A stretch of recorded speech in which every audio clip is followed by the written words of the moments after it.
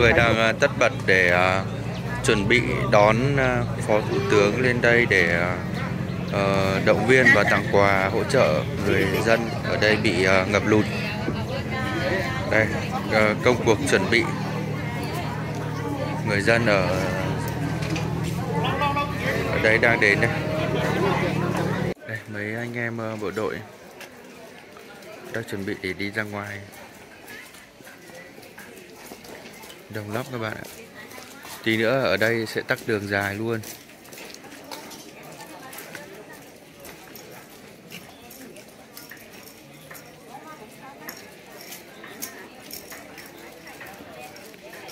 Mấy anh em đang đi làm nhiệm vụ đây.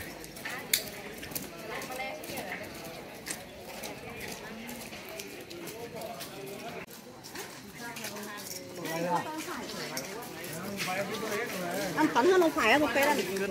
mấy anh em đang ờ, đang kiểm tra thuyền bè.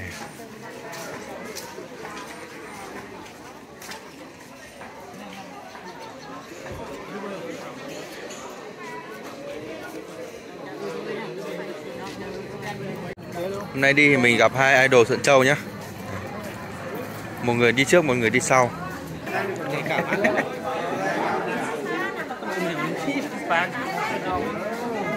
hai anh em chuẩn bị ờ, đi mượn ờ, mượn bè để ờ, ra review đây. Hello anh. Hello, vâng xin chào mọi người nhé. chào anh nhé anh có bí quyết gì để nói được nhiều như anh không? Cứ đi đến đâu nói đến đấy, nhìn thấy Thế cái à? gì nói cái đấy thôi. em nói hai câu em ngại em xấu hổ ấy. Đây đây cuộc sống của mọi người ở đây này. chắc ờ, phải mất một tháng chỗ này mới rút được. Phải đây mọi người dân ở đây bảo sẽ phải- hơn tháng nếu mà đấy là với điều kiện là trời không mưa còn trời mưa thì nó còn ngập lên nữa À, cùng à, ngập lụt đấy. Bây giờ sẽ phải di chuyển về bên đằng kia. Xong thì đi ở nhờ những cái nhà nào mà không bị ngập ấy quý vị anh chị ạ. đây và anh ờ, đang thuyết minh rất là hay mình chỉ mong là sau này mình sẽ được một góc của anh thôi để đi review nhiều cảnh đẹp ở Sơn La mình để cho nhiều nhiều người xem. Mình uh, chuyên chụp ảnh uh, sự kiện này cưới hỏi các kiểu này mọi người cần uh, liên hệ nhé.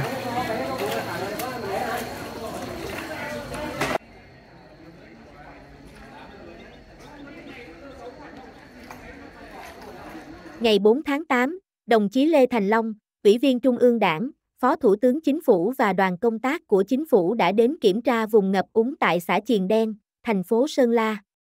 Cùng đi có lãnh đạo các bộ, ban, ngành của Trung ương. Do ảnh hưởng của hoàn lưu cơn bão số 2, trên địa bàn tỉnh Sơn La, tính đến ngày 4 tháng 8, mưa lũ làm 11 người chết, 6 người bị thương, thiệt hại trên 2.672 nhà, 29 điểm trường bị ảnh hưởng, lũ cuốn trôi 15 cầu treo, hư hỏng 82 công trình thủy lợi, 130 vị trí sạt lở gây ách tắc giao thông.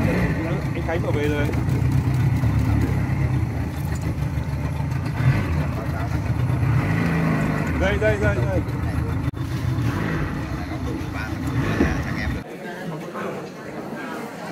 đây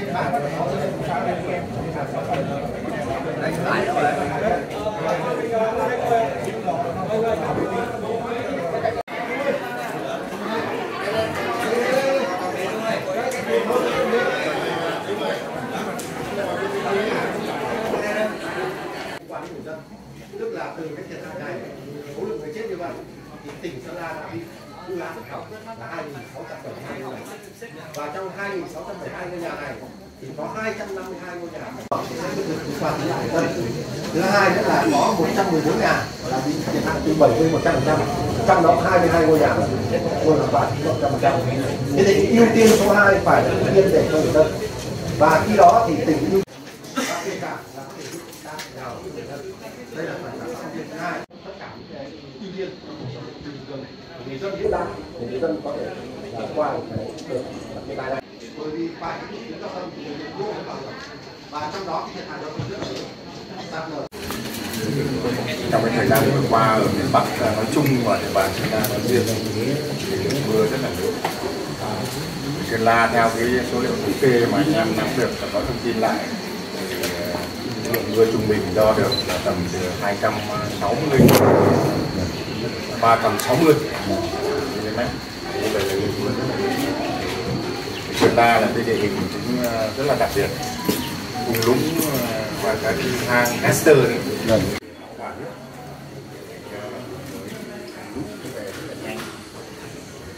kèm theo cái sạt lở rất là tiền so với cái ờ, Đấy hàng, đấy hàng, đây, đây, đấy, đấy, đấy, hàng đấy rồi. Em phải xịt lên tí cho hàng sau rồi anh ấy cho.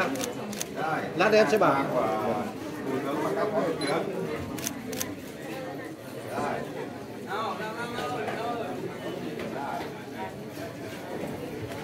còn còn đâu nữa nhỉ còn hàng sau nhá Có còn đông đấy ạ. Bà con xin lên tí đi. Bà con xít vào nhau tí. Xít nhau tí, xít nhau tí. Anh Khải mời anh lên trên này. Mời một đồng chí, à, đồng chí à, chỉ huy trưởng quân sự Sơn La đâu? Thành Thành đâu? Em mời cả Thành. à, ờ, anh ơi.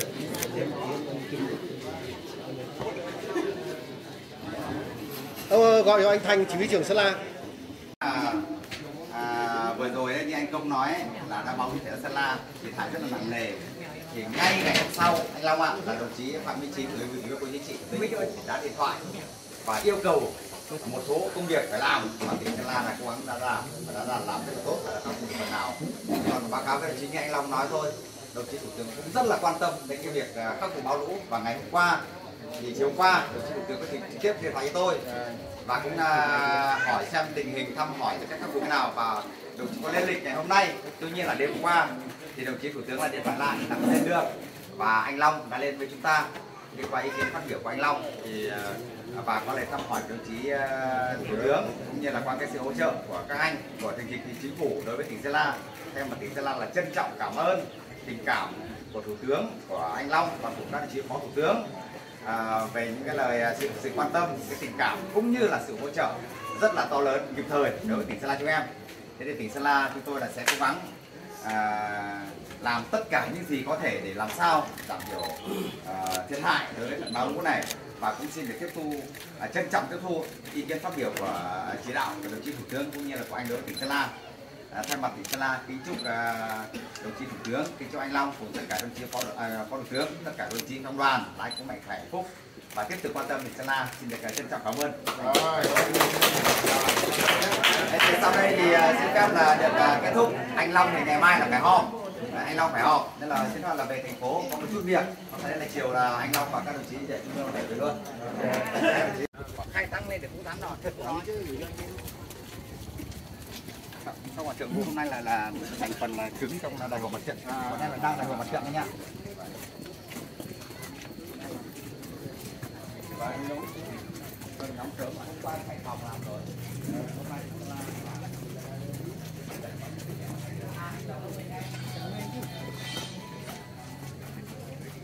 anh em mang thuyền về.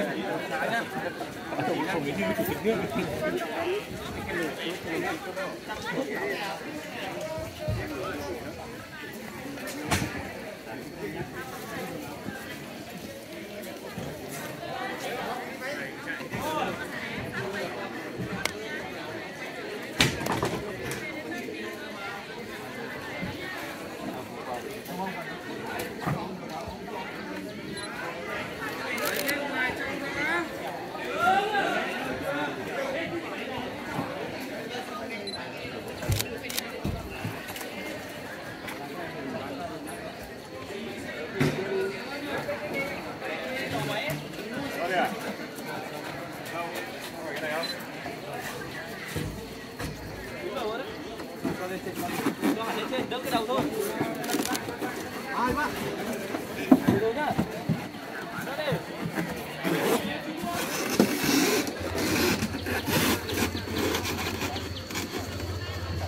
Đấy, bên luôn đi bên bên, bên xe luôn đi.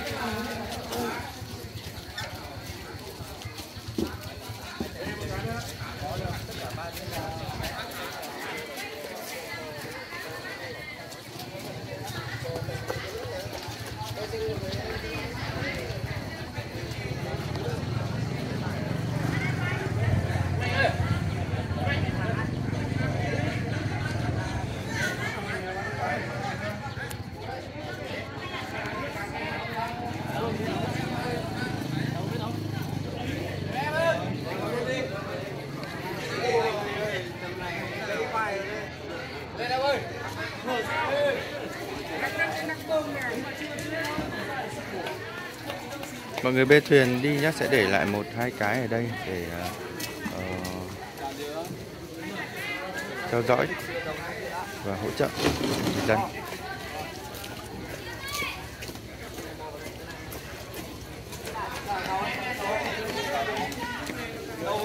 Dương kìa, em hỏi đấy, Dương kìa. Dương ơi Dương, ra đấy Dương đi.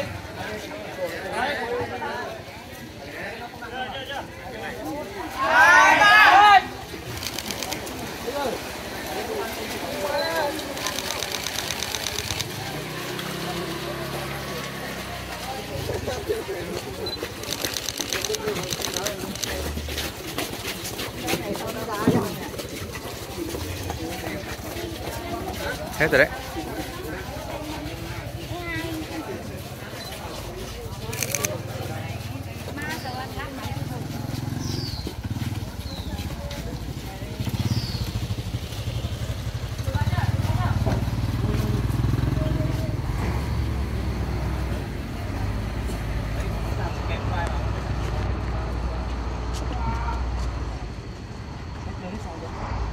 Tay như thế rồi.